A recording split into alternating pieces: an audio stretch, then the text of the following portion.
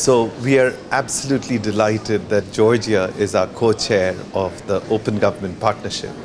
And there are two big reasons why we are so excited and how it's so appropriate for Georgia to take up this leadership position. The first is Georgia has shown unique, unprecedented political commitment to open government. Right from the commitment of the Prime Minister to the Minister of Justice, now we have Tbilisi as our subnational pilot in OGP. Open government is a critical part of the parliament, the judiciary is involved, and there's been a huge co-creation with civil society. So it really is a whole of society commitment to open government. And Georgia has shown how to do a transition to a democracy through open government principles.